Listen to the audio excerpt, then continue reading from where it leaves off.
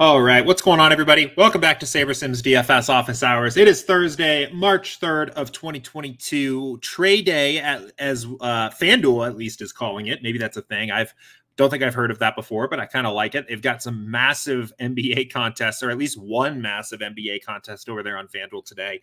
A uh, three dollars and thirty three cent 150 max with about 175,000 lineups entries in it, uh, at least as far as I can tell. 133 grand first, and then uh, 25 grand or something like that to second. Uh, I've got I've got some entries in it. I'm I'm bashing on the uh, prize pool, but I'm pretty much always down for a lower stakes uh, flagship contest. But anyway, happy trade day, I guess, uh, to kick things off. Uh, we got a couple questions in our queue here for today already. Uh, definitely some kind of nuanced questions, some more theoretical uh, strategy kind of questions, at least as far as I can tell, coming in early. So uh, should be some fun stuff to talk about, break down a little bit, get into it here. Um, before we jump in, I will mention, as I always mention at the start of this stream here, if you've got questions for me, ask them in YouTube chat, ask them in the office hours channel in Slack. Those are your best two ways to do it. I try as best I can to answer questions in chronological order. So get your questions in now. I'll get them answered sooner. Uh, we'll get the app pulled up. We'll start talking here. Uh, actually, I want to start here today uh, with a good question. Question that I think is just a good way to start the show off here. Uh, and this is from Jared. Um, and he said, Can you explain the differences between contests with their lineup builds using randomness and variance? Is it safe to say uh, the 150 max needs more randomness or, or, variance than a 20 max contest. Thanks in advance. Uh, yeah, I would say uh, in general, the larger a contest is, um, the uh, more you're going to see this sim variance slider go up, and also the higher the entry limit. Uh, the the broader the entry limit for for how many lineups one person can play, the more that variance slider is also going to go up. So uh, for a given contest, 10 to 50K, right? You can almost kind of just see this play out. Single entry variance is at six. Uh, Three max also at six. Whoops. Get to 20 max, jumps up to seven. 150 max goes to nine. Uh, why is that? I, I, I think first of all, uh, I think the question is: Is it safe to say that?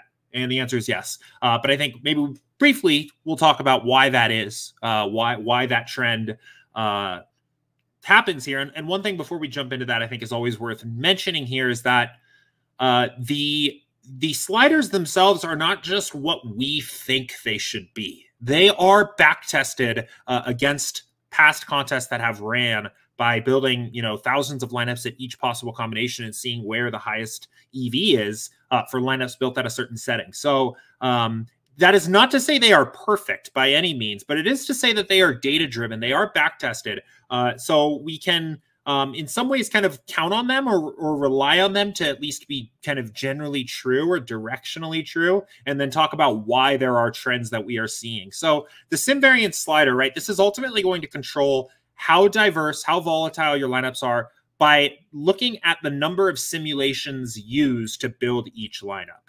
So a lineup built at sim variance zero is going to be a lineup built based on the entire pool of simulations, essentially the full range of outcomes of every single game, uh, averaged into one average number, which is the projection for each player, right? You're going to basically build the highest overall average projected lineups you can. At Sim Variance 10, you're going to pick a single game simulation and build the optimal lineup for that single slate simulation, really a single game sim of every game on the slate and build the optimal lineup for that particular slate sim. Now, in reality, on the actual slate, the real basketball slate tonight, they are only going to play every game once. There is one, there is actually going to be one particular outcome for every single game on the slate. There is some theoretical actual optimal that will exist at the end of the slate tonight. There will be a lineup that is the maximum number of points that you can score that exists.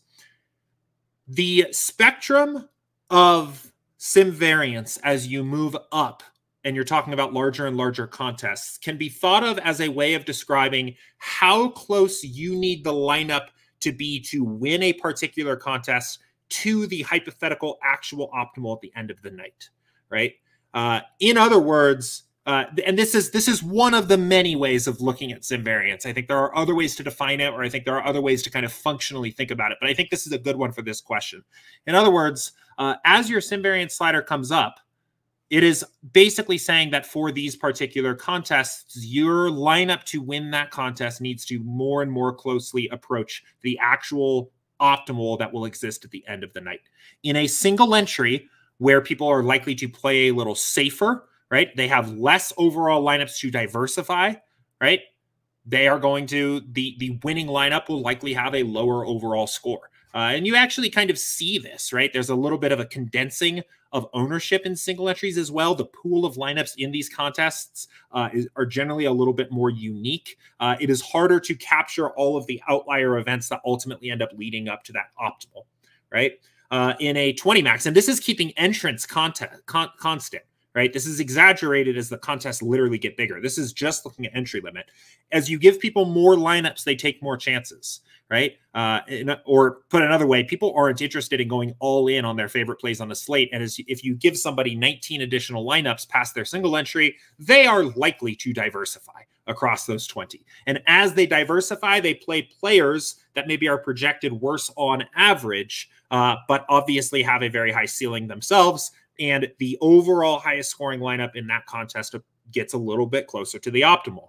When you give these players 150 max lineups, right? Uh, that effect is continued to be exaggerated. Uh, the other factor here is that the players generally it is more skilled players that enter more lineups into a contest in a very general sense. Uh, as you give more, as you give more bullets to uh, each individual player in the contest in the form of entrance, right? There, the overall skill uh, the overall accuracy of the average lineup in the pool goes up. The scores become higher because the a greater percentage of the pool is being dominated by lineups from more skilled players. So uh, anyway, I mean, again, coming back to this question, I think this was just a really cool one to start with. Yeah, you do see uh, a general trend that sim variance goes up as your entry limit and your entrance increase. Um, it's important to remember that uh, I, I, don't want to say this is empirical. Like, I don't want to say this is necessarily like purely scientific, but when we see these trends uh, in the sliders, we can somewhat kind of take them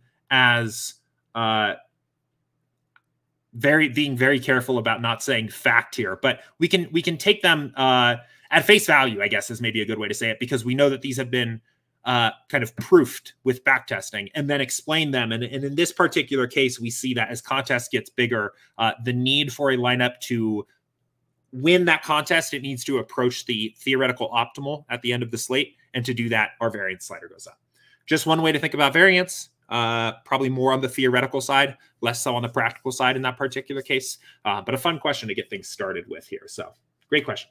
Let me know if that makes sense. If I lost anybody, if anybody was confused by that, always feel free to ask questions. That is why we do the show live.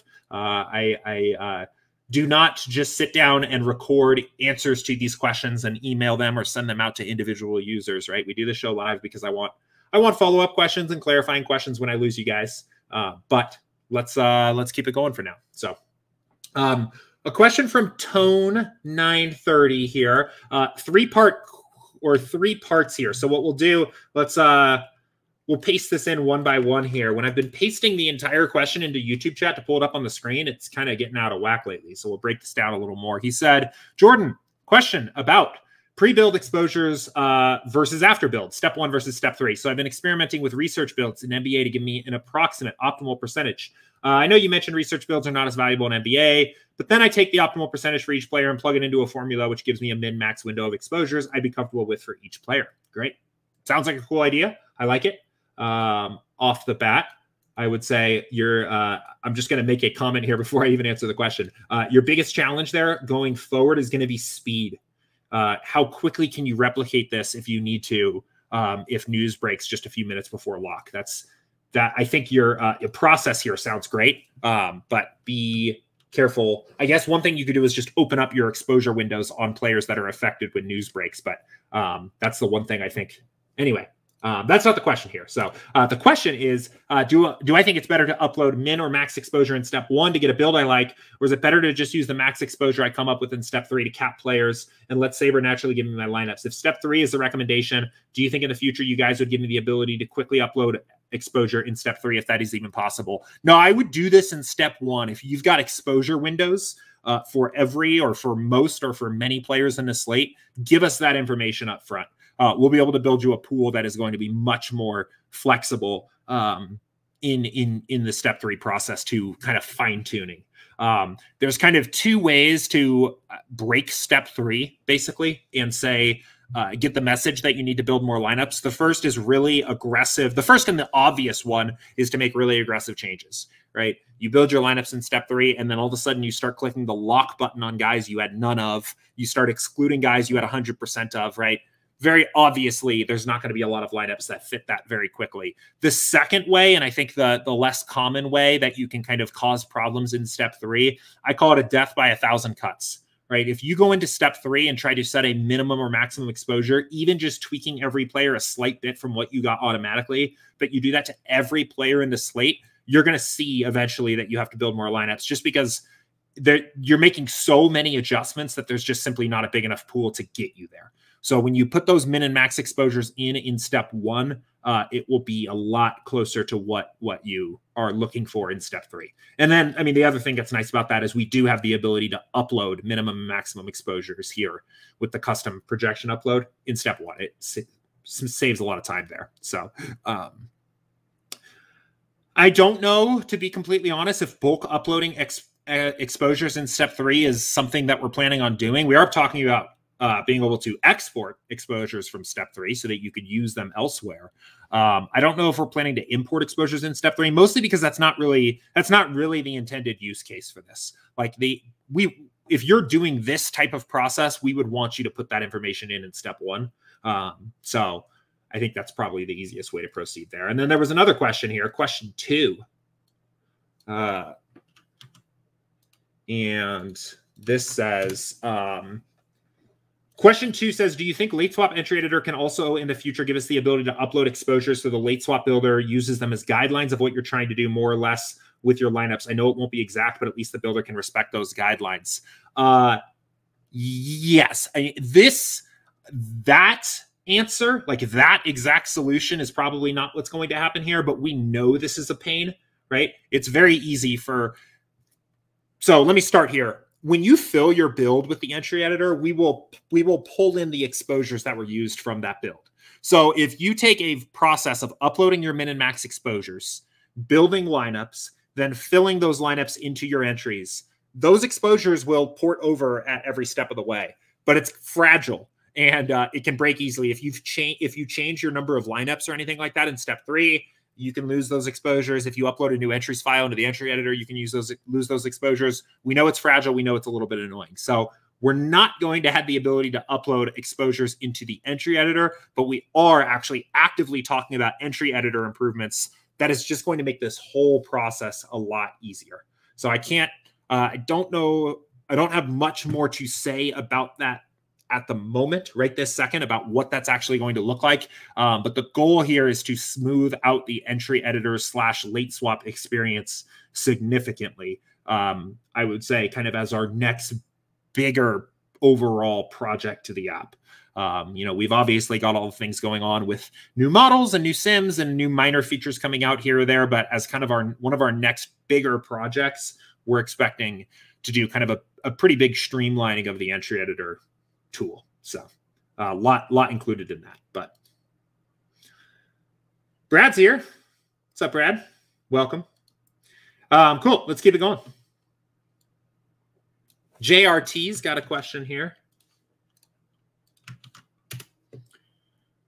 And he says, Can you talk about pool size? Sometimes I see it run at 500, other times 1500. Is that based on the size of the contest we input? Yeah, it is uh, generally I actually think by default it's always at 500 here as the default value. I don't think uh, there's any way to up it to, or I don't think it uh, by default anything updates it to 500. It used to be 1500 for 150 maxes. Um, I would still recommend updating it to 1500 for 150 maxes. Uh, I don't know if we brought it down to 500 on purpose or not. I think you can get away with 500 lineups in a pool still for a 150 max.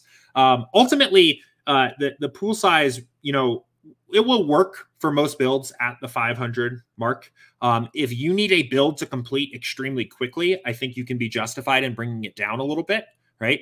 Takes a little bit more time to build more lineups. If you're not worried about time at all and you want to build a larger pool, maybe you're planning on making a lot of adjustments or you're building, maybe you're playing 300 lineups, right? in that case, I definitely recommend bumping it up to the 1500 mark. So, uh, short answer 500 is fine for most use cases. If you're not worried about time and you're either building a lot of lineups or going to make a lot of adjustments in step three, build a bigger pool. If you are worried about time and you're not going to make any adjustments in step three, you can justify a smaller pool.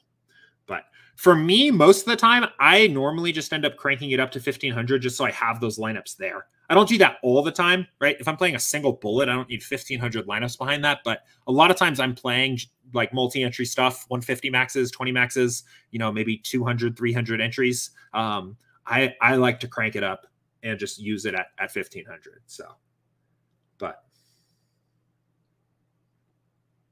cool.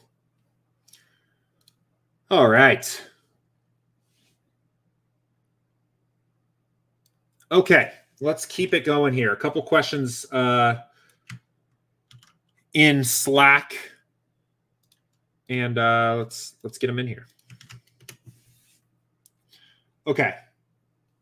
This is from Joe here. He said, uh, last week we talked about editing projections in step one and how it relates to their percentiles. The system adds slashes, subtracts to the percentiles, but does not show the increase slash decrease in step one.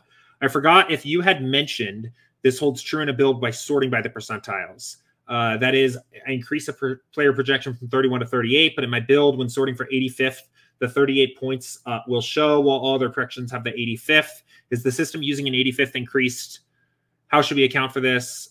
Okay, so this is this is a bug actually. I think is what you've kind of actually stumbled upon here. So at the moment, right, we, we did talk about this last week. When you change a player's projection, if you increase a player by three points, for example, we increase his output in every single simulation we have for that player by three points. And then we use that when we use the sim variant slider, we use those updated sims with the new custom outcomes. The percentiles themselves are stored values that don't change when you update custom projections. So they don't change on step one. And in fact, uh, the bug that you've kind of come upon here, Joe, uh, is that you're not actually uh, custom projections and percentiles are mutually exclusive. You uh, can't use both of them at the same time. Um, and um, so if you change a custom projection, for example, you should so you should see a message that percentiles are not compatible with custom projections and then this should be disabled. Right now it is still enabled and you end up in the situation that you've just described here where if you change the percentile to 85th every player will have their projection changed except for the players that you set custom projections for which is no good. You don't want to do that. Um, so um, that is uh, that is that. So that's a bug. We will get that fixed and for now, uh, don't use don't use the percentiles here um, if you are uh, using custom projections. So. Um, Andrew asks an interesting question. Uh, don't know if I have the most satisfying answer for this, um, but he said, "Are you aware of any publicly available Twitter lists for different sports news, or have any yourself?" I'm not. Um, it's a good idea honestly, I like uh, my Twitter game could probably get get a lot better. Like I'm on Twitter a lot, but I don't use a lot of the features. I know people have like really cool lists and tweet decks and all kinds of things where it's like you've got your DFS analyst desk feed whatever where it's like all of your all of like i guess like almost touts or just like advice and general strategic ideas and then you've got your like beat writers for news and then maybe you've got your news aggregators like underdog uh, that stuff's all pretty cool. I like, I just got everything all in one feed. I've got all of my different interests floating around too, like my TFT stuff and my DFS stuff is is all mixed together. So I'm not the best person to ask for like uh, good Twitter lists and good Twitter setups. Unfortunately, I probably uh, could stand to learn more from people that use Twitter a little bit better than I do already. Again, like I'm on Twitter um, and I and I like it, but I I don't think I'm super optimized uh, for it. But um, there are, I mean, I know there are lists. You can search lists on Twitter, so people probably have some of this set up. Like if you try searching like NBA DFS, see what kind of pops up. Scroll through the list, see who's in that list, see if you recognize some names, and I think that's a good start. So cool.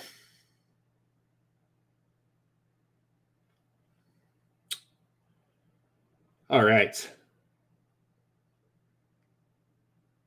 Cool. Let's keep it going. Uh, I see these questions in YouTube chat, guys. I promise we will get to everything. I'm going to continue to knock out the last few questions that are in our Slack first. Uh, so while I'm on this point, there's a link to join our Slack community in the description of every past office hours video. There will be one in the description of this video uh, when it gets posted as a recording to YouTube. Uh, I always try to answer, for the most part, the questions that come in in Slack first. So if you want to get your questions answered earlier in the stream, highly recommend joining up in the Slack. There's also obviously great conversation going on in Slack every single night. Um, but let's go ahead. I want to get to this next one here. This is another question from Joe. This is a fun one, especially for baseball.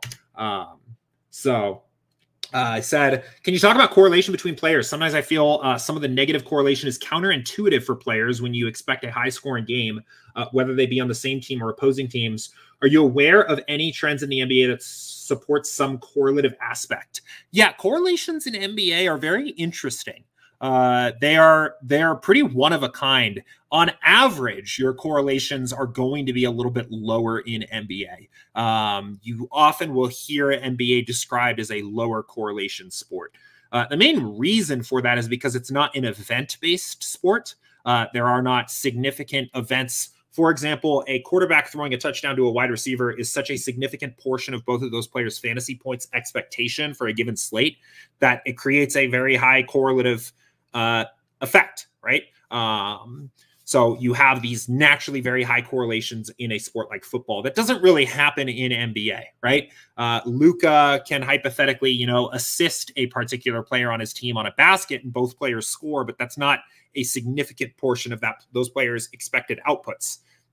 There's also a lot of more diversity of the way. It's very easy for other players on the Mavs to score without Luka being involved in the play altogether. Maybe not so true for Luka with his usage rates, right? But in general, that's that's in generally true, right? Uh, wide receiver, uh, uh apart from maybe a rushing touchdown, is virtually never going to score points without the quarterback also scoring points on the same play. So, kind of a lower on average correlation sport, right? Uh, the most meaningful correlations that you typically do see in basketball are negative correlations. Uh, players often are somewhat negatively correlated to other players on their same team. Uh, especially if they occupy a similar role on the team. So we see, right, Luca's most most common negative correlations are to Jalen Brunson, Spencer Dinwiddie, right, the players on his team that play the same position. Um, and the main reason for this is because there's an opportunity cost to everything that happens on the court, right? If one player scores the basket for that given play, no other player can have scored that basket, right? Uh, if a player gets an assist on the basket in in NBA, right? Not not so much in NHL, no other player can get an assist on that basket. A rebound can only be collected by one particular player. And this there's only so many baskets and assists and rebounds that are going to exist in a certain game, right? So you are essentially pulling from that hypothetical hypothetical bucket of available baskets to score, which creates these kind of soft negative correlations between players. Now, that does not mean necessarily that in every game outcome, players have strong negative correlations with one another, right? If a team goes to overtime, I think is the easiest example to see and maybe that team by virtue of getting to play an entire extra quarter, uh, that team goes over 15 points over their implied total, right? At that point, in that particular range of outcomes for a game, those players may have positive correlations together, right? In that particular game outcome or that particular set of outcomes, right? Um, or just in a very high scoring game overall in general, those players may be uh, positively correlated to one another. So, um, overall, the impact that this has on your lineups uh, is that we don't measure, we don't value the average correlations overall too much, right? They are relatively small compared to other sports. Those correlations that I actually just pulled up for Luka are some of the largest I have seen. Um, I typically typically don't see them get too much larger than like negative 0.15, but we don't value them too high. And I think the biggest way to get correlations into your lineups naturally in a more in a way that better reflects the variety in the types of game outcomes and the way players are correlated differently in different types of games outcomes is the sim variance slider right? So a common idea i've talked about here before on things like nfl showdowns you'll hear me say sometimes that the correlation is naturally already present within the sims. That's something Matt also spoke about a little bit in our most recent NASCAR strategy session. Uh, what we mean by that is because we are simulating games out play by play, we naturally pick up on what players are likely to succeed in a single lineup together because we understand what players are likely to succeed together on the court, right? So the correlations are naturally going to come up when you're building an NFL showdown lineup, for example, right? If you have a wide receiver and you're using a single game simulation for that build, you have a wide receiver in the lineup. If the quarterback is in the lineup, that's great because the quarterback likely had success since that wide receiver had success. And if the quarterback isn't in the lineup, that's also still probably okay. That's only going to show up at the rate at which that kind of outcome is optimal because there are op- there are occasionally lineups where a wide receiver can be successful without the quarterback in an NFL showdown kind of lineup, right? That's kind of the idea here. Since we are pulling from simulations for your NBA lineups regardless and looking at at these individual game scripts for how games could play out, uh, we can get away with in general not valuing the average correlation as much in a sport where average correlation is already generally a little bit lower. So that's kind of the way I think I would say in, in broad strokes, my NBA correlation, um, I don't know, rant, I guess, right? So when you hear somebody, you know, you may hear on other shows, people are talking about like stacking up a game, right? What they are actually really saying, and, and why I actually think that's not as sharp in NBA as it is in other sports is what they are trying to do is identify a very narrow range of outcomes for that game where players are positively correlated to one another, right? You may hear someone say, I'm stacking the uh, Kings and uh, Spurs game tonight. Well, uh, those games, those players are going to have probably pretty good projections, right? This is looks like the highest total game on the slate. Uh, you may get a lot of those players together in your lineups anyway because they are just projected so well. But somebody that is intentionally going out and stacking in of on that particular game in their lineups is trying to spotlight a narrow range of outcomes where those positive correlations exist, right? Which is also generally the upside outcomes for that game. If this game does go well over the implied total, it's likely that everybody in the game is going to benefit, and that's why it it makes some sense. Um, but that does not mean that on average the players in this game have strong positive correlations to one another, right? In fact, you know, there's probably very few positive correlations in this game. Period. So, um, I uh, I know last time I talked about this, I remember I, last time I kind of talked about why I don't really like intentionally game stacking in NBA. Um, I had a few people kind of fire back via DM and via uh, uh, a few other channels and give me some opposing points of view. And, and I'm open to having my mind changed here. I'm not a big fan of of that level of stacking beyond what you kind of naturally get in your lineups for uh, for NBA in particular. I think the most valuable kind of correlation to key into in NBA overall is the negative correlation that you get between players on the same teams. And I think that's pretty well captured overall um, in your in your lineup builds naturally with the default sliders based on using the simulations and the, the correlation slider. We did last note on this, and then we move on. Uh, we did recently update our default sliders for NBA, increasing the correlation slider uh, by one tick for every classic slate size. Uh, the reason why is because we've put a ton of time into our NBA sims this year. We feel our NBA correlations are really sharp, uh, much more accurate than they were at this time last year, and feel like we can get a little bit of an additional edge and feel like there's a little bit of an additional edge to have or to be gained by increasing your correlation slider a little bit. Um, I think it's kind of intriguing, to be honest. And I have been kind of exploring the option of maybe even knocking this a little bit higher. Um, I, I wonder partly if there is a little bit of an inefficiency here. I I, I wonder partly if the field um, doesn't realize or isn't taking advantage of uh, these negative correlations as appropriately as they should. Um, one of the things that is difficult about NBA, I know I'm kind of, I know I'm going kind of long on this question now, but uh, I guess I have a lot of thoughts on this. I think one of the things that's difficult about NBA correlations in general is that you can't really just capture them with a single rule or a very simple rule. In NFL or in NFL, you can basically say, give my QB two pass catchers in every lineup on any optimizer under the sun, and you're automatically going to get better lineups than you would have otherwise. Uh, in baseball, you can say, give me all of my DK lineups five man stacks, and your lineups are automatically going to be better than they were before because that is really all it takes to get some level of correlation in your lineups. In NBA, it's really hard. You have to kind of understand, uh, at the very least, how teams play overall, right? What what players occupy what positions, um, and then you would have to go in and set player groups for every single theoretical player that played a similar role on the same team whatever, right? You'd have to group out your Luka from your Brunson and say, don't use these two players together, and then move on to the next team and, and continue going from there, right? That's that's hard, and it's it's uh, kind of a pain to do that for every single team on the slate. You don't have to do that here, um, and I, I with how hard that is for people to do uh, quickly and efficiently and um, intelligently on a traditional optimizer. There's a part of me that has been interested in increasing this correlation slider a little bit more um, so Alien DFS makes a really good point. High projections with negative correlations perfectly fine. Yep, I agree. And that's I think that's the other side of the coin where I think correlation can get overweighted. Is people will take a team where there is elite value, right? Uh, like the Raptors uh, a couple other nights ago with the Van Vleet out, right? Where just every every player on the team was projected spectacularly. Uh, at that point, the the minor correlations between these guys of negative 0.1 you know, fantasy points really doesn't matter when every player has at least a 6x average projection.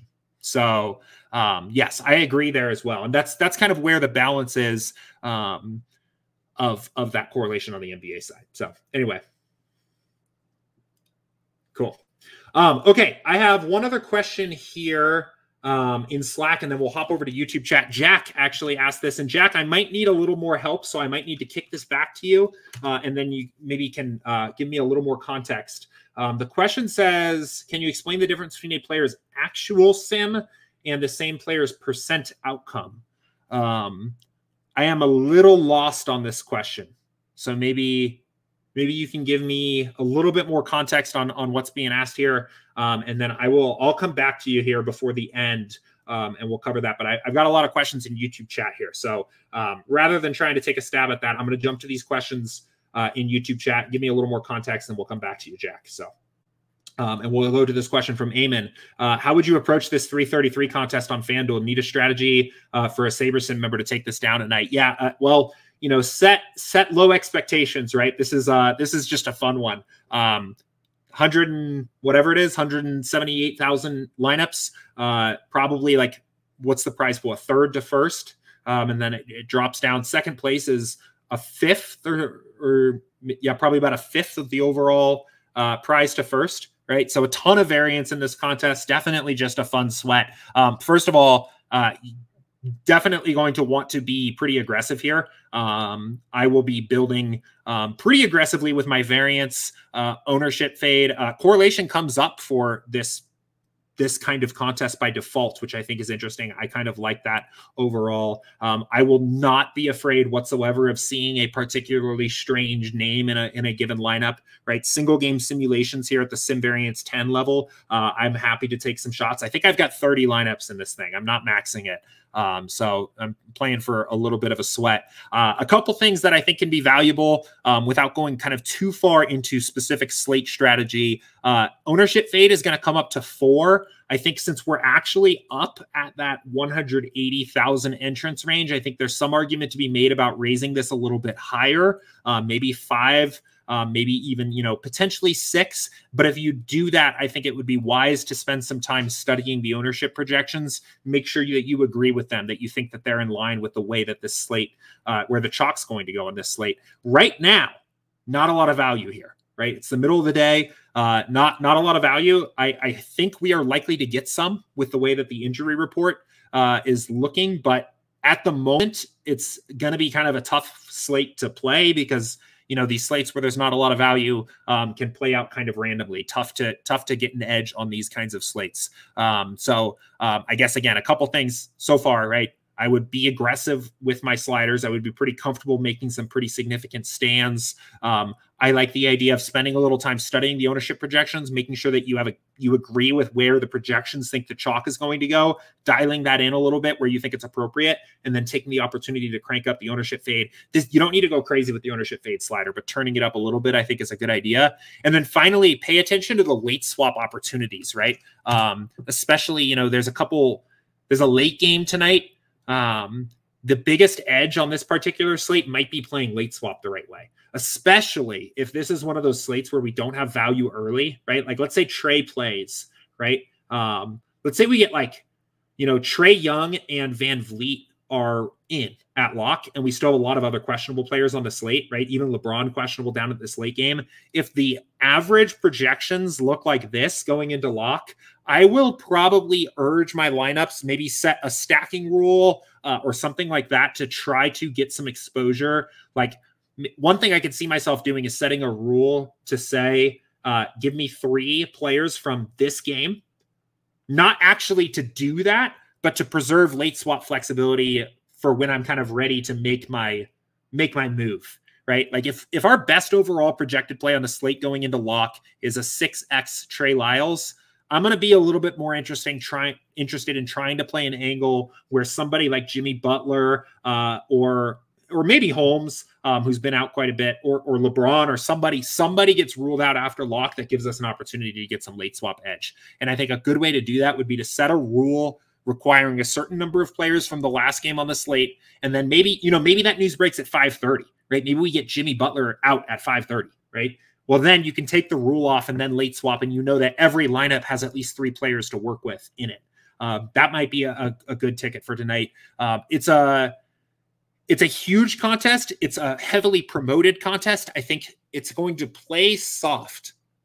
I think overall, the overall skill level in this contest is going to be low. I think you can get an edge here, but it's going to be so high variance. So um, I would I would play with with um, with that in mind as well. But um, so yeah, I guess kind of like three edges there, similar to the edges that I think just exist in NBA on a nightly basis. But um, for this kind of contest, high variance, right? Uh, spend some time studying the ownership projections. Make sure that they're they're they're going to be very good by default. But if you've got a sense of where chalk might be going that the ownership projections aren't picking up on, make a couple adjustments. Maybe tick up the ownership fade slider just a tad, and it, especially either way, you might want some late swap flexibility on tonight's slate. But especially if there's no value at lock, I love the idea of doing that for tonight. Right. Um, so but it's also entirely possible that Trey Trae Young gets ruled out and uh, Butler gets ruled out and Van Vleet get ruled out all before lock. And in two hours from now, like there's just value on every single team on the slate. So, but good question. Um, so cool. All right, let's keep it going here. Uh, Brad said on showdowns like tonight with Brooklyn looking pretty different than when it did before the All Star break. How much do you trust the Sims?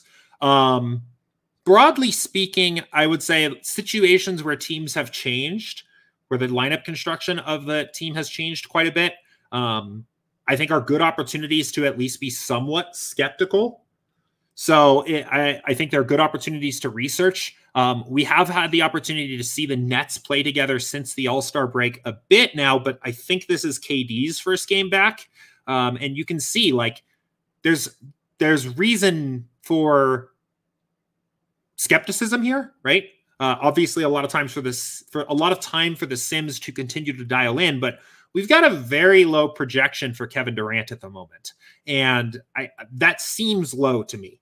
Um, this is a situation where it's inherently going to be a little bit harder for any model to project. What does the new usage look like for kind of the new look Nets, uh, but with KD back and no Kyrie, still no Simmons, right? Like it's inherently a little bit of a harder situation to project. Um, I think it's fine if you looked at this and said, no, I kind of want to trust the Sims and roll with it. I think it's also fine if you said, this is a situation that's difficult to model. Uh, this doesn't look right to me, and I'm going to increase KD's projection just for example, or do whatever else you want. Um, but I think you were on the right track by picking this game and this team uh, of one like, is this an opportunity to make an adjustment? Right. Um, you know, let's go over and look at um, at this point in the year, are there any teams that are just playing like they're totally normal? Right. Uh, the Warriors is a good example, right? Looks like so no Draymond, but he's been out for a while. A lot of data of what the Warriors look like without Draymond. A team that I think in general, here's actually this is actually a great example. I am more, I would say I am more skeptical of Kevin Durant's projection being low than I am Steph Curry's because the Nets are playing differently. Their team is is different than they were the last time KDA was playing basketball. Whereas the the Warriors have their uh their relatively typical starting lineup here tonight, right? So I, I actually would be inclined to believe that Steph Curry's just pretty heavily overpriced, whereas I think Kevin Durant's projection might be low. And I think you spotlighted that perfectly with with picking up the Nets there. So um, but again, uh, it's early in the day. The individual projections of players and teams and things like that will continue to dial in throughout the day. Um, but that's that's kind of how I like to think about that. So, and then Brad said, "Can you uh, just discuss contest selection? What you consider a good contest versus not?" I'm I apologize. I'm sure you've covered this a ton. Uh, I'll give you the quick answer. Um, we actually we have covered this in a lot of detail, a lot more detail than I can do on this stream on our YouTube channel. Um, so for NBA in particular, we have right when you get right at the top here our, our 2021 NBA DFS course. This first video, it's about 40 minutes long here, is a very detailed discussion into contest selection. Um, I actually go into the lobby on DraftKings and FanDuel and actually literally i think there's a spreadsheet in this video too and i literally write down i would play exactly these contests first then these then these then these and it, go from there um, overall the the summary of that video is to play 5% maximum of your bankroll amongst any correlated slates you're playing that night. So if you only play the main slate, that's 5% maximum in the main. If you play of the main slate and the night slate and a couple showdowns, that's 5% total on that given night, right? Um, the idea also is to play the lowest entry fee contests you can spread out your risk as much as possible by getting as many entries into the lower dollar stuff before moving up in stakes. And in terms of individual contests, we like to spotlight contests that have a thousand or more effective entrants. Effective entrance is the total number of lineups divided by the number of the entry limit for that particular contest. And the reason why is that the greater number of effective entrants there are, the softer the contest is going to play. There is a finite number of skilled players in the lobby any given night, and those players are typically entering a lot of different contests, and they're typically maxing those contests out. And you can dilute the impact that they have on your contests by making sure that there are more unique individual people in them. Those contests are harder to win. This is a little bit unintuitive because those contests have a lower raw probability of winning on any given slate right? You have a lower raw probability of winning a 20,000 person, 20,000 entry 20 max than you do a 2,000 entry 20 max. But your ROI over the longer term will be higher in the bigger contests because the opponents are softer. So that that is kind of the summary of this video. Um, I would say the one thing that I have been I have changed this year and I have kind of been talked into and I think I will adjust our content for next season. Um, is if you aren't already, I would explore the opportunities of playing some of the other slates on a given night. And instead of going all in on the main slate or 5% all in on the main slate, to spread that out amongst other contests where you can. Uh, in particular, if you don't want to play everything, because I know that's a lot, doesn't schedules don't always work for people. In particular for NBA, the night slate and the night showdown are always very good great, pretty good contests there. Um, bigger contests, they they they grade out pretty well. Um, if you are playing these other slates, even I play everything, so I'll be playing all of these slates tonight. If you are playing other slates, you are going to have to sacrifice the effective entrance thing. The contests just aren't big enough to justify getting in them. What you gain in in sacrificing the effective entrance is you uh, you smooth out your variance, right? You essentially silo and isolate games and situations where you might have been wrong on, right? Let's say hypothetically that you nail the entire slate tonight, right? Except for this first game. This first game, we have it at 116 to 158 or 115. Probably the builder is going to give you a lot of players from this game, I would assume by default. And in reality, we get like a 92 to 89 slugfest, and all of your lineups that include players from this game are dead, right? But every other game, you nailed it. Well, on a typical main slate, that's probably at best going to be like maybe a break even day, maybe a 2x day. But if you play other slates, right, you probably are giving yourself an opportunity to crush the night slate, the night showdown, maybe the other showdowns here, maybe the 730 turbo, right? Because you have isolated this game and you've kind of diluted the impact of being wrong on this game to just the main slate and and potentially the showdown for this game, right? So you can you can smooth out your variance by playing more slates. So that's one of the things that isn't really directly covered in this video that I would also recommend if your schedule can support it. And if it doesn't directly, if, it, if it's not possible to to do all of these slates in a given night, I would at least explore playing the the night slate and the night showdown because the contests for those are pretty great. So um so let me know if that helps. Um, I see a lot of conversation here in the uh, in um, chat here. I'm going to keep going. We'll get to questions here, and then we'll we'll get kind of caught up. Um, Brad said on bankroll management, I know the typical is about five percent, but I feel like if I don't play, I may miss an opportunity. Five percent is our our maximum on a given set of correlated slates. I wouldn't I wouldn't play more than five percent tonight. Like probably about total. Um, at, at, least until you really feel comfortable that you kind of know that you are a long-term profitable player um, and even then you know going over that is is quite an investment um, and and potentially increases your risk of ruin by quite a bit so i if you are a really good way to look at it i think is if you are really sweating the individual results of one night you probably played too much one one night of dfs should uh, sweats are fun it's fun to win it sucks when you lose but it should mostly be that like dang, I lost. That sucks. If you are upset at the end of the night, you played you played too much volume. So, um, but I, I like that five percent number is a good as a good number to stick at. So, Dante was in the uh, Run Pure stream that I was doing just before this. So, welcome back, Dante. He said, uh, "I made the rookie mistake the other day of reserving all my lineups under one team, and then tried to late swap twenty lineups." but it would only let me late swap the one lineup I had. Is there a way around this? Was a total accident and literally rushing on time. There's not a super good way of doing it at the moment, unfortunately. Um, it kind of depends on what your lineup is. If it's just a reserved blank entry, right? If you have no players entered, one thing you can do is just X out the two players or the players playing in the early game and say you're building at like 530. Then actually not a late swap, but actually go in and build a new set of 20 and fill this as if lock was 530 and that would work right but if you have a dummy lineup in there that has players from the early game in there like say you've got like DeRozan or something is locked into all 20 of your lineups and you have 20 dupes around him you have to really the only easy way to fix that or to resolve that is to um lost my train of thought is to kind of manually tweak your your lineups on the site and then re-download the entries file. Um, I mean, there's a couple other little like hacks you could do if it works out.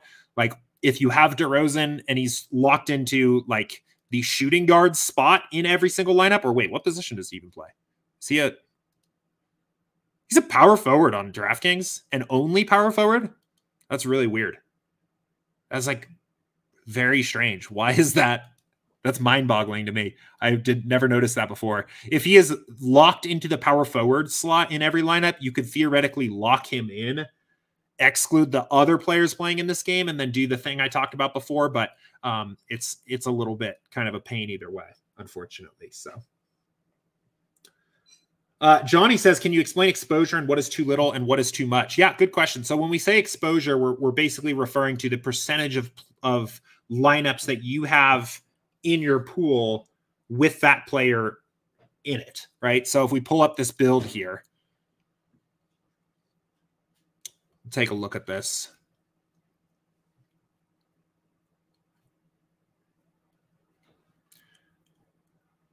And I'll get a moment to catch my breath. Okay, cool. So let's let's reset the percentiles back to average as well.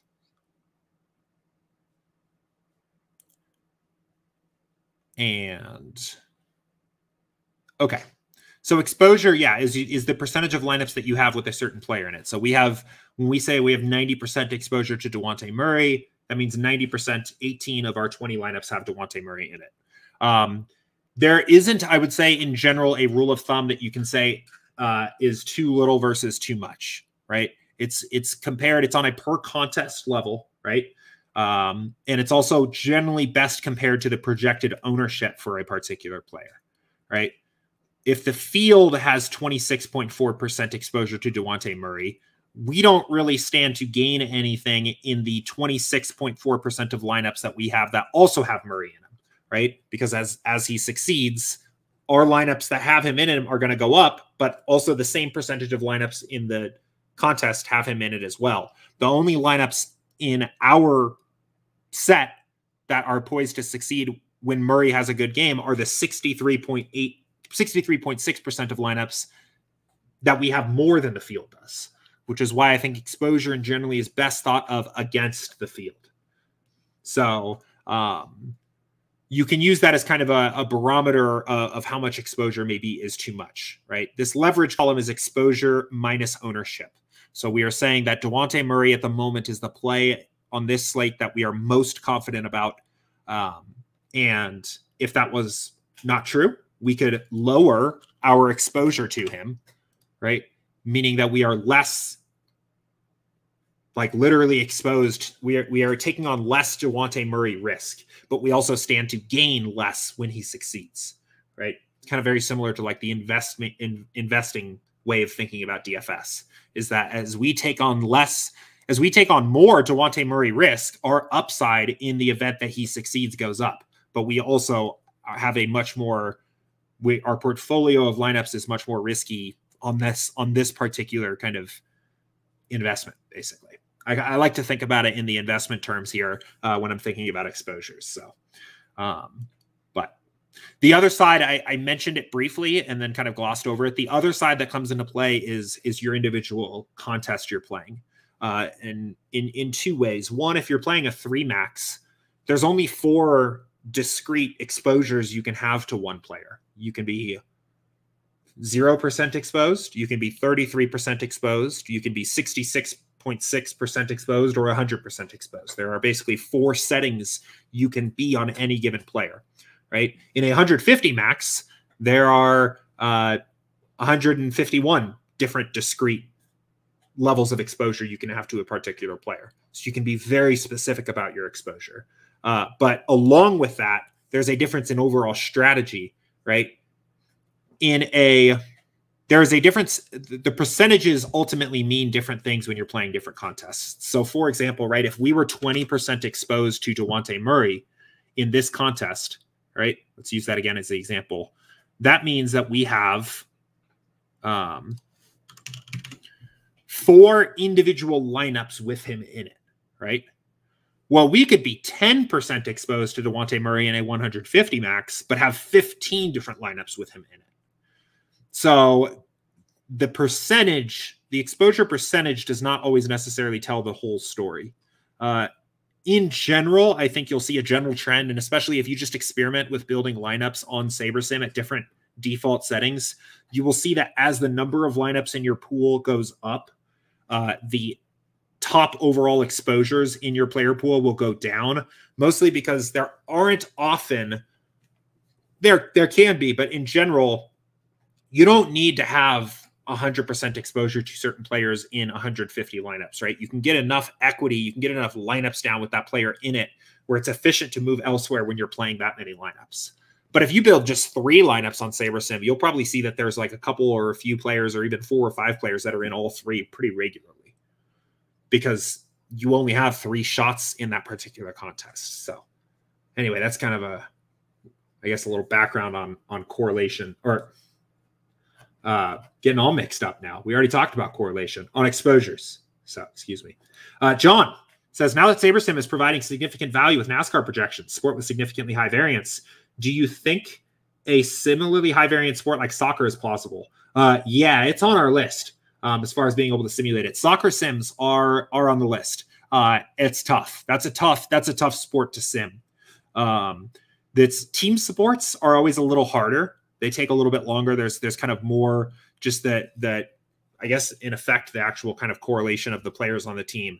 Um, team sports can be a little bit harder to to build out sims for, um, and and soccer's just kind of tricky. Um, one of the things that's nice about you know, other sports, football, you have a play. Uh, even in basketball, you in effect have a play. Uh, you have a possession essentially. Um, in baseball, um, I think we do things on a per batter level, but baseball has a ton of discrete elements you can kind of do on an inning level. Uh, you have an at bat. You also have individual pitches, right?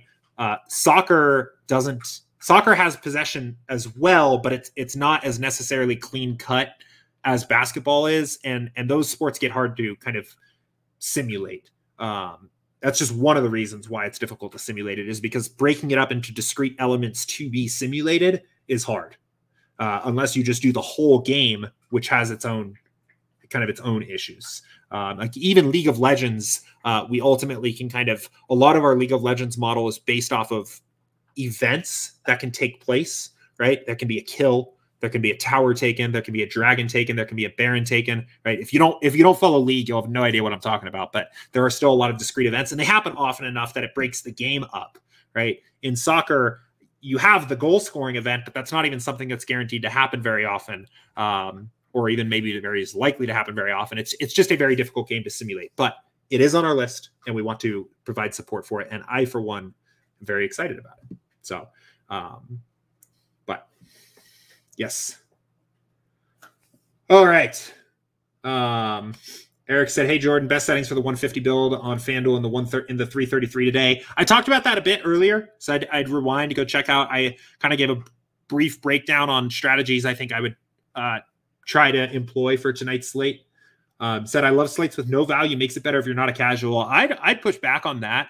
Um, I I actually think that uh, slates where there is no value, where there are not big salary inefficiencies, make the game harder to play.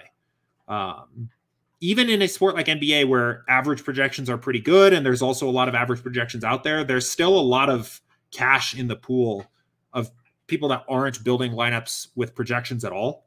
Um, on a slate like tonight, the edge that you get over those players is smaller because this the the game at least at the moment again right projections will likely change but if this was the slate we had at lock it's it's too random. There's too many what you want or what i want when i go into a slate is i want there to be clearly i want there to be mines. I want there to be kind of like landmines out there that if you if you do the wrong thing you're building a bad lineup where like there are players that you kind of need to have or you need to have certain sets of these players or there's obviously right ways to play the slate. And on a slate like tonight that doesn't really exist um, maybe if you play in a really, you know, exploitative way and get a big ownership edge in your particular process, maybe you like these slates a little bit more. But I I find that they're tougher. So um I'd also push back here actually. Just going catching up on some of the chat here. Best contests are high dollar single entry contests.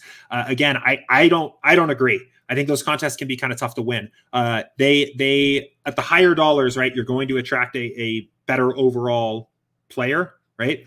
Um, and these contests are going to play very sharp. They're also going to be very high variance, right? You only have a single bullet, you have a single line. Uh, if I'm playing 150 lineups on a given slate, right, versus one, I, I'm essentially getting 150 opportunities. Uh, I'm getting 150 times the opportunities than you're getting in this one given lineup, right?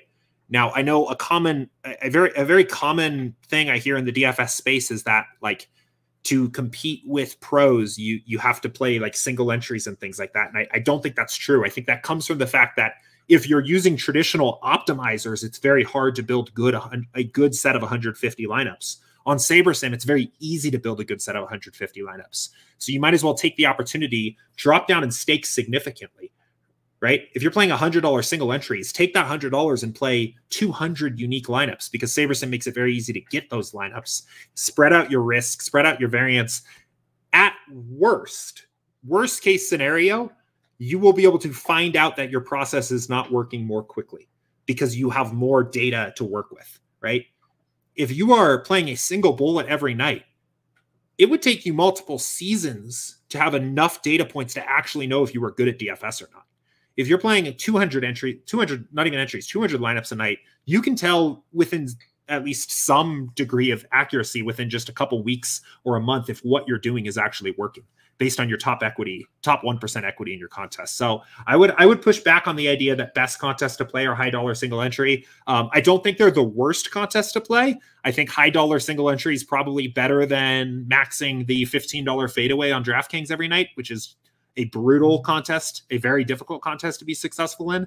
Um, but I, I, think you are better served playing as many entries as possible at lower stakes before moving up in stakes. If you told me you were playing $100 single entries, I would at least hope to hear that you were also playing all the low stakes multi entry stuff that's available to you. That's my take. So, um, but um, HC said, Hey, Jordan, for a single entry, what do you feel is a good number of players for a player pool to make a lineup? For a single entry, I wouldn't take any players out of my pool. I would I would leave the pool wide open, um, and then and then see what kind of what I would do is I, I would not remove any players from my pool. I would use the single entry settings, right? But so say it's like a, a five thousand person single entry, but instead of building one, I would build like ten. And uh, the reason for this is I would like to kind of see what a couple different options look like for successful lineups. So, um, you can build we're actually building 500 here but you can see the top 10 and you can kind of get an idea of like what the what are the core plays for your single entry lineup? What are the plays you really should use? And where do you have a little bit of opportunities to make some choices right? Um so you know you can kind of see eight of the top 10 all have Dejounte Murray Derrick White DeAndre Hunter and Trey Lyles in them from there you have some options right and you could you could even kind of build out the rest of your lineup right? Maybe you could, you know, you could even actually go in and lock these guys in. Because DeAndre Hunter was the next piece, right? And then kind of build the rest of your lineup together, right? Maybe you don't want to play Marcus Smart and Derrick White together, even though they're both projected well. So you could like remove him and then kind of like let the rest of the lineup come to you like this. This message here, in this case, we have, we only need one lineup. So we can bring this down to one and then kind of kind of let the lineup come to you that way. But i don't i don't think you need to go in and like curate a player pool for yourself before you build because you can you can basically do it here. So like this i actually think this is a, a pretty playable lineup. Maybe you don't want to play robert williams and horford together. Um so you know maybe you move remove horford so maybe something like this looks pretty good right kind of kind of pieced it together as we went along without curating a pool. So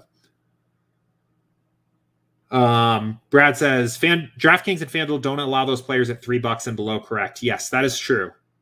Um, so, but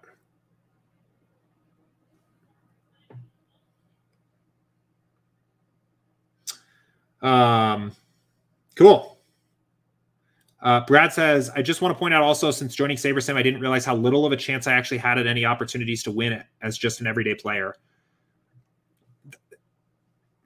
Um, I don't know. I, I think this is kind of worded in a way that maybe I don't entirely agree with here.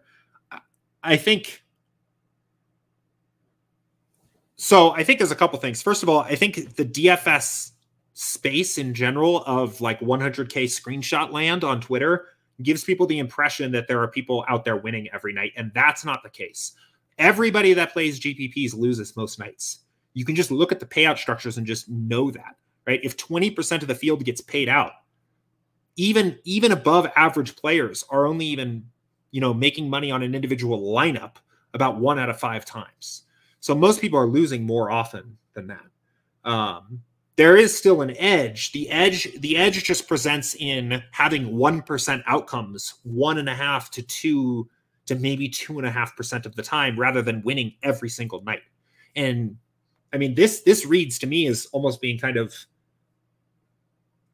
as as hopeless if this take is taken in the long run. On an individual night, your expectation should be to lose. Over the course of a season, uh, you can absolutely be profitable, and I think there's very much still an edge that exists in DFS. Um, I think SaberSim is very well built to exploit those edges, right?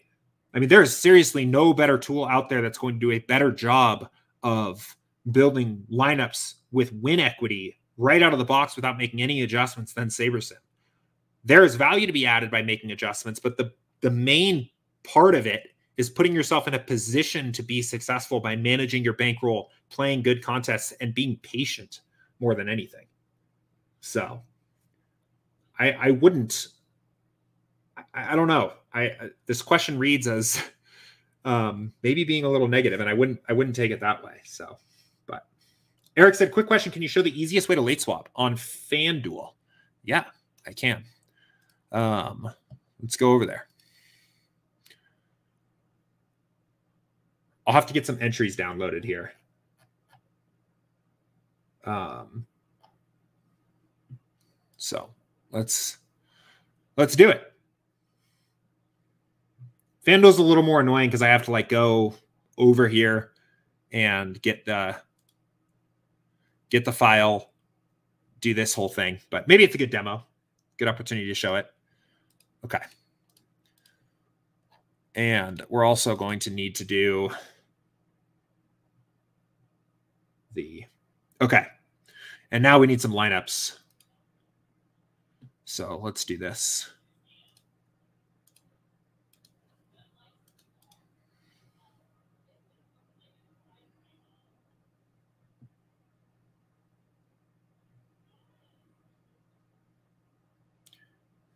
All right.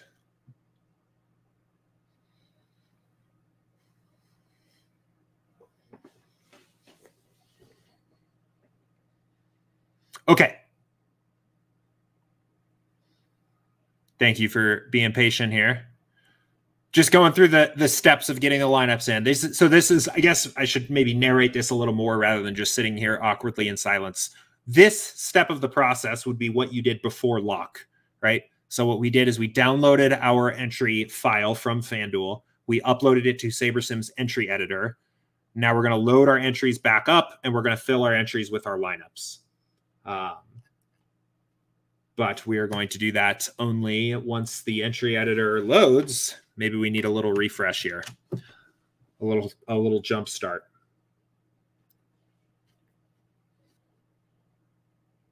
the process for what it's worth is basically the same on FanDuel and DraftKings. I probably could have just demoed it on DK, but um, since this said FanDuel, might as well do FanDuel. Okay, here's our entries.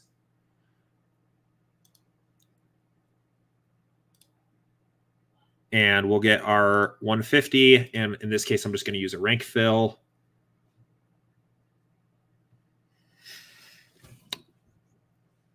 Thank you for being patient with me. My computer's picked a very choice time to slow down on me. Okay, so now we're going to download the entries, right? So this is us uploading our entries for lock. We're in. We go grab our beer. We sit down on the couch to watch some ball, right? Now it's 30 minutes later. It's an hour later. Time to late swap. Go in, click the swap button, click late swap. You're going to see a familiar looking page here, right? the build settings page should have your group stack settings, everything you set before lock. Make any changes if you want. A lot of times I leave things about where they are. Um, one thing we've recently added is this option: only swap lineups containing out players. Uh, I would actually, I I would basically never use this for NBA, but it can be useful if you're doing something like NHL, right? No need to go in and rebuild and reswap your uh, Avalanche stacks because the Vegas Knights have a slightly different line or somebody skating on the second power play on some other team is out, right? So that can be useful for NHL, but for for basketball, I would leave that off. But anyway, you go in, click late swap 150. In this case, I have 150 lineups. It will make you a new build, rebuilding your lineups. In this case, the slate hasn't started, so they're like basically completely rebuilding each lineup. And then we can uh, download this this entries file on the other side here.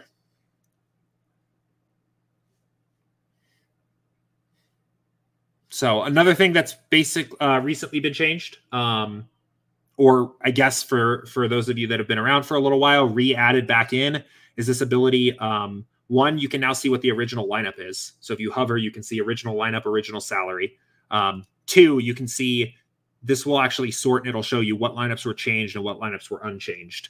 Uh, as more and more games lock, your line some of your lineups won't be able to be changed. So they will just say unchanged. But anyway we click download new entries. And then the one other thing on fanduel is that after after lock passes you handle your you handle your business in the live tab on fanduel instead.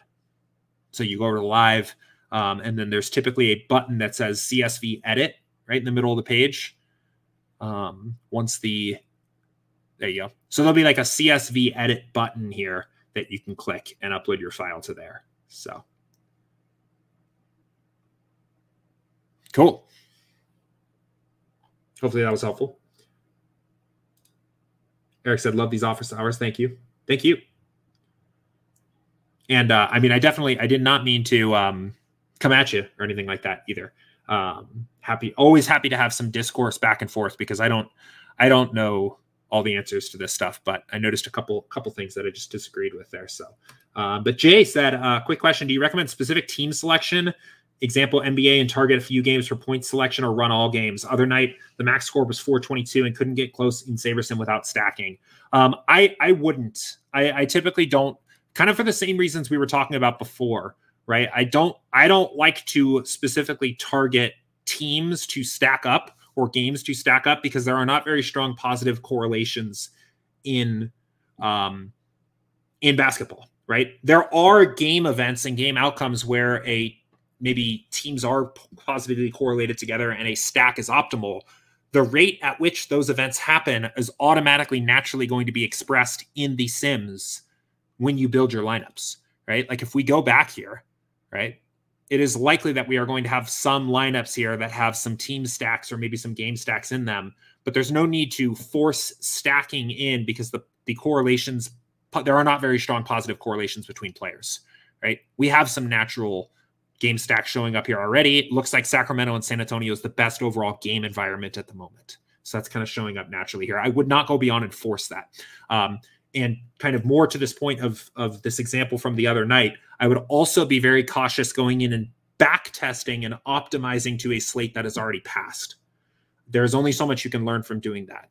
Um, i would i think it is a better idea to you know try to see if you are going into a slate with a certain set of assumptions or a strategy that you're going to take. Check to see if the basis of your overall strategy was accurate. But if you spend time optimizing for example for the march 1st of 2022 NBA slate, you're ultimately probably just going to end up figuring out exactly what you should have done for that slate. But that's not always helpful or predictive of what you should do in the future when you're when you're looking at like one individual slate like that. Uh, that i think the best example of of, of a way that explains this concept in a little better way is if you truly wanted to figure out how to build the optimal the best lineups for a particular slate that already passed the best way to do that would be to download the actual scores from each player and upload them as projections. That would be a surefire way to do it. Now, that's not really helpful. So, kind of figuring out how to rig the optimizer to have given you optimal lineups for a slate that already passed is just as unhelpful. Um, review and the process of kind of reviewing your overall process, I think, is strong but optimizing for a slate that already happened in the past, I, I don't think is super helpful. Um, another thing, this is uh, an idea from from Shady Advice in, in Slack that I really like. Another process of review that I recommend would be sitting down and writing out your process, like actually on a sheet of, sheet of paper or in like a document if you want to use a computer. Write write down every step, then write down how long each step takes, and then write down why you're doing it or what you gain out of that particular step. And if there are reason if there are things in your process that you can't explain or outliers in the time it takes to do it those are maybe good opportunities of opportunity of opportunities to make your process a little more efficient. I think those are better processes of review um, than optimizing for a slate that already happened. So but good question.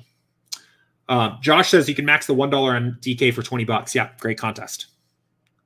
Always play that so John says for NHL projections, given the importance of lines and power power play lines, if we notice there is something off about a player's line or if there's a late change, what would you suggest? Manual edit to projection. Um, yeah, you could bump a you could bump a skater if they're on a, a lower line than expected, like bump them down or up if you need to make a quick change. Um, I think that's I think that's great. We will be generally pretty quick with that like when we when we get information from our data providers that a line has changed, we get a new sim out, I would say pretty quickly. But if you need to move fast, yeah, make an adjustment. Um, I mean, you can also change the lines here too. So, like if the line information is wrong, you can change it here, which won't change anything other than potentially your stacking rules.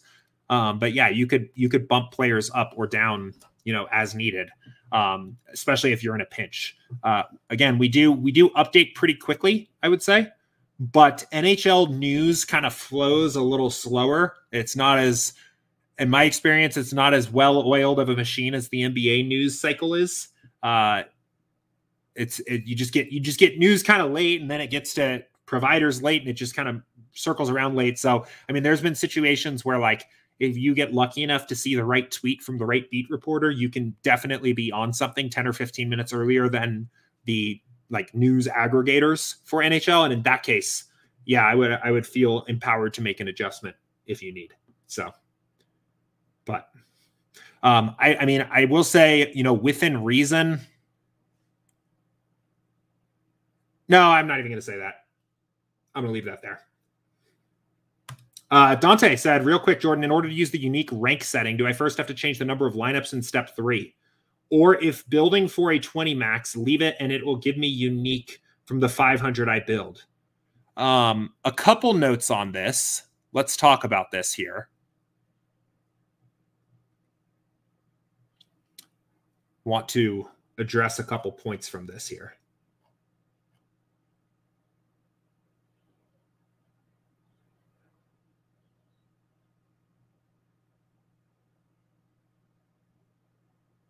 All right. Sorry, I got distracted.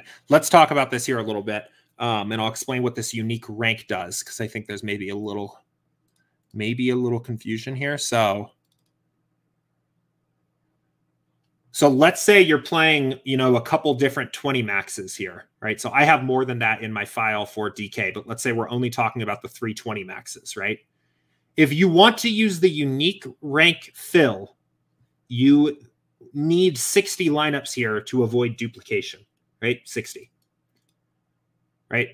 In if we if we wanted to do that, we could use a 20 lineup set or a 60 lineup set. I'm sorry. Let's go and grab our lineups here. Let's go to this build.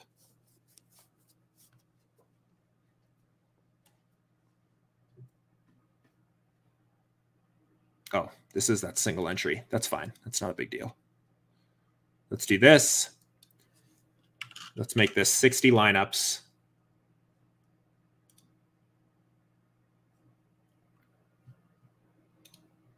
And let's also give ourselves a 20 lineup set to work with too. Okay. Okay, so let's do kind of a quick demo here, a walkthrough. Okay. Um, okay, so if we do a 60 lineup fill uh, using the unique rank fill method for these 320 maxes, what's going to happen is lineups 1 through 20 are going to go in the and 1. Lineups 21 through 40 are going to go in the quarter jukebox, and lineups 41 through 60 are going to go into the dime time. Right? If you just used a 20 lineup build, it's going to say there aren't enough lineups to fill uniquely. 40 are going to be duplicated and what it's going to do is it's basically just going to put the top 20 into every contest. So if you are, let me read this question again and make sure I have this right. So if you are going, so I guess the other, okay, so the uh, one other question here, or the one other way I think this kind of maybe I'm interpreting this here is if you only have one 20 max, it doesn't really matter what your fill method is because you only have 20 lineups. Like the fill method, the fill method really only applies if you are filling multiple contests. And at that point, it's saying, how do you want to handle these other contests? Do you want to just put your top lineups into everything? That's rank. Do you want to put a unique lineup into your contest in order of the Saber score? That's unique rank. Do you want to just randomly fill all these with all of these lineups? That's unique random. And do you want to only fill contests where the number of lineups in the set matches the number of lineups in that contest exactly? That's exact match. So the fill method only really matters if you are filling up multiple contests because it is the rule that determines how we handle the additional contests. So let me know if that helps. But Um, okay. Um, 194 said, I'm the guy who asked about DVP the other day. Same day I trusted you guys, used projections from a certain percentile and fell 26 points from first place in the $15 GPP and others. Going to try my exact same process tonight with bigger buy ins because I doubt it was luck. I'll update accordingly. Uh, that's great, but also be careful, right? Uh, I would proceed with caution. Um, one one data point, one slate is is always is only one slate. Um, there's only so much you can learn there. Um, I I don't want to scare you off, um, but I actually I think the, the given results on a one particular slate actually almost certainly are luck um, for one for one slate, right? Like one one slate is lucky, uh, profitable season is is skill. That's kind of the I think like the DFS idea. So um, again, congratulations, but I would uh, I wouldn't go like all in or anything tonight um, on the heels of that. So play play within uh play within your bankroll. But that's great though. And let me know how it goes. So um Eric said, I never understood going back and studying past lineups. Is there any merit to doing this in your process? This is an interesting question. I don't want to blanket say no because I think there are productive things that you can do about going back, reviewing your lineups and and and learning. Um, I don't do it that much personally. I don't I don't think there's like a ton of value for me to do it. I think you are better off reviewing your process the way I described before. I think your time would be better spent like writing down, you know, write down your process, write what you do every night. Um, ch- maybe check your assumptions that you used, right? Um, you know, maybe you maybe you go under on Trey Lyles for this particular slate. That's your approach because he is not a very he's he's the best value play on the slate, but he's not in a in a in objective terms a great value. And at the moment, Holmes is questionable and projected to play. Like right, he's he's projected in, um, and maybe you fade him.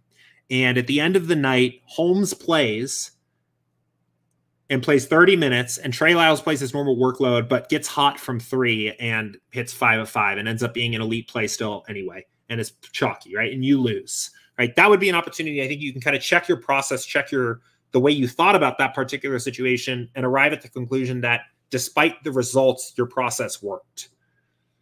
What I would not do, what I would be careful of doing is like looking at lineups and saying, oh, if I played these three guys instead of those three guys, I would have banked. And then trying to force some like pattern recognition in to see what could have led you to play those three guys. And that's how you end up hearing rules like when I play two 9K players in the lineup, I always have two 4K guys and a 5K guy in because somebody at some point looked at a past lineup they played, figured out what the players in the lineup what lineups, what players they could have added to that lineup to bank, and then created a pattern that wasn't there. Though that's dangerous. That's where I'm. That's where I would be very cautious. Um, so, um, I would be careful there. But, um, yeah, but I don't want to say that it's it's a bad idea. I think there's there's still things I I there I think there are productive things you can do with looking at at past lineups, but I would just be careful. So. Um, Johnny said, "What's a good sim variance for tonight's three game, three entry, or should I keep it as preset?" I would use the preset sliders for virtually everything. They are back tested. We build thousands of lineups at every single slider combination, and then actually back test against historical past slates that have run to see what builds the best expected value lineups possible. Put in a lot of work to these. I would roll with the defaults. So. Eric said, I always fill my rank and sometimes it gives me a dupe. It should never give you a dupe as long as you have enough cont lineups, right? If I use a 150 lineup build, if I use a 60 lineup build and fill by rank, it's going to say there's one, the mini max has more than 60 lineups in it. You have to dupe. Uh, but it won't dupe otherwise within a given contest as long as you have enough lineups there. Um, but otherwise, rank rank is literally intended to to dupe in between contests, right? You are doubling down. I, I'm putting the my top 20, my identical same top 20 in all three of these on purpose. That's that's the goal of rank. Uh, if you don't want to do that, use unique, use either of the unique options. So, but Johnny says, What's the best way to create 20 very unique lineups for a quarter jukebox? I've been using the core and it hasn't been hitting. Yeah, so a core naturally is going to make you pretty condensed, right? That, that is what what a core essentially does is that it makes you very heavily exposed to a very small set of players. And you can build a core around the best projected plays on a slate, for example. And if those plays are successful, you give yourself a lot of opportunities to build the right lineup around it. Um, that said, there are certain slates. Tonight is a good example where if nothing changes and we don't get any value, I don't know if I would like to use a core in a 20 max because there's not a lot of plays that I think are deserving of being called core plays tonight. Um, if you are playing 20 lineups and you want to be pretty diversified, you want to be pretty unique, I would first explore, you know, turning up your sim variance slider a bit that's going to naturally incorporate a bigger range of outcomes for each individual game. It's going to give you more diverse lineups. And I would also uh, spread out your maximum exposures on step three. So we'll build this here and I'll show you what I mean.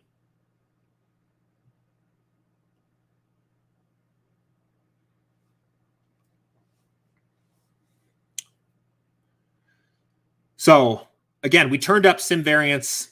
So we're going to get kind of probably a little bit more diverse lineups anyway but we're still getting 90% Dejounte Murray. And maybe that's too much, right? That's that's 18 of our 20 that have Murray in them. If he has kind of a bad night, right? And let's actually let's look at this. If we click on Dejounte Murray, yeah, he's projected for 56 points. But I mean, there are outcomes where he scores 40 or less, right? Actually, probably about 15, 20% of the time that happens, right?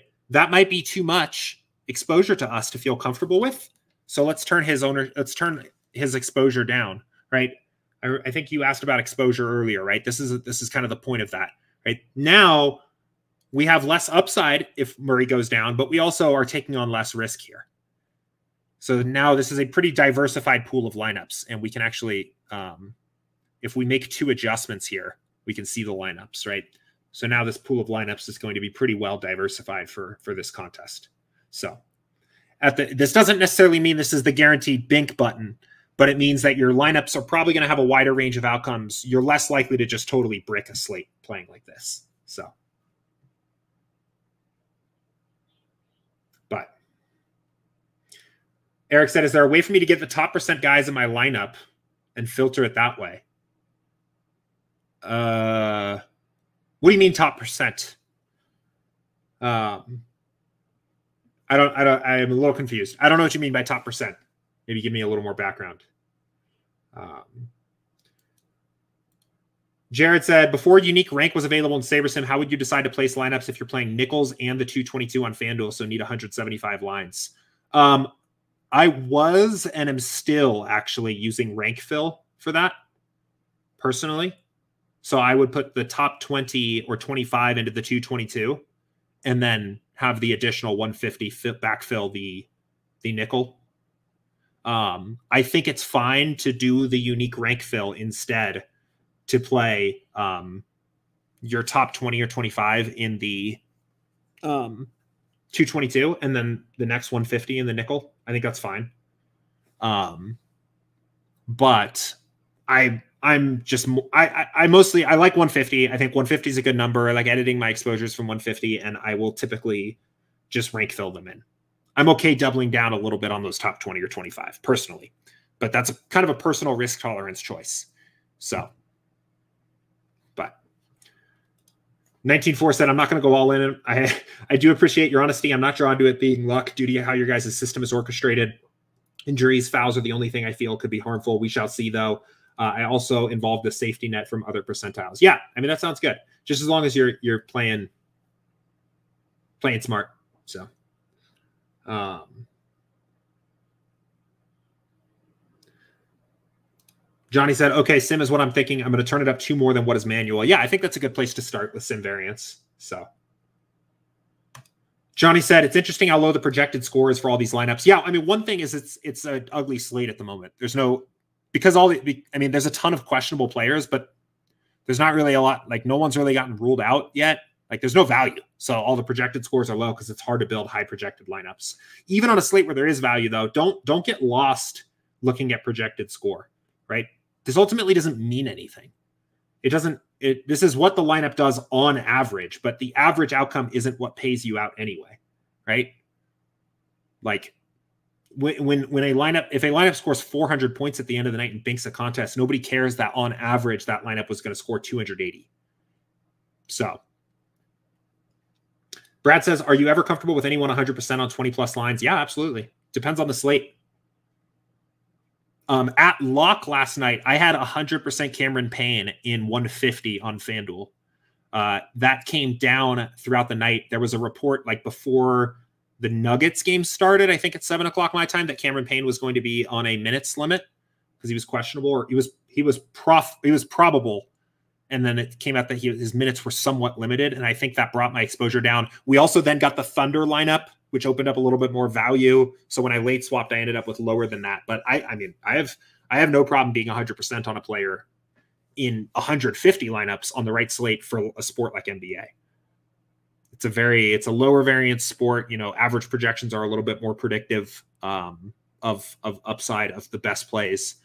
I'm fine with that. On higher variance sports, never like 100% exposure to somebody in 150 in like golf or NASCAR or something like that would feel like it's crazy. But that's that's me. So um All right, cool. Brendan says, and we are going to make this our last question, guys. It's an hour and a half. Awesome stream today. It's been a lot of fun. Uh, last last question. and This is kind of a fun one. Um, he said, "How much are likely? How much more likely are USFL sims if MLB is delayed?" It's on our radar. Talking about it. Um, new league. Hardest thing is getting the data that we need to do the things that we need to do to simulate games. Right. It's a brand new league. Um, so there's not even always a lot of infrastructure set up to get data that you need. I mean, even I'm talking basic stuff, um, some kind of rates, that, that kind of thing to create sims. But football is football. I think the USFL has mostly NFL rules with a couple exceptions. I think I know they're handling penalties a little bit differently, at least in the way penalties can be reviewed. I don't know how much that affects sims, but I think it's mostly NFL rules, which makes it easier to sim. So it's on our radar for sure. I think DraftKings and FanDuel are going to have big contests for it. So, um, Brad says, just curious, there due to the risk of injury and whatnot, uh, if you may remove them just in case. Uh, that's a valid point. Anybody can get hurt any night. Um, it, if just because I'm comfortable with 150 doesn't mean you have to be or anybody else has to be. Uh, I will take on the somewhat random risk of injury for a player and move on to the next night if all 150 of my lineups die in one fell swoop. Um, but that doesn't mean you have to. I, I think you know, if you said I'm not comfortable with more than 60%, 70%, 80%, 40%, whatever it is in your lineups, that's fine. Um, the lower your maximum exposure is that you're willing to have for any one player, the more diversified you are going to be, the less you the the wider range of results you're going to get in your lineups, but also the lower upside there is. So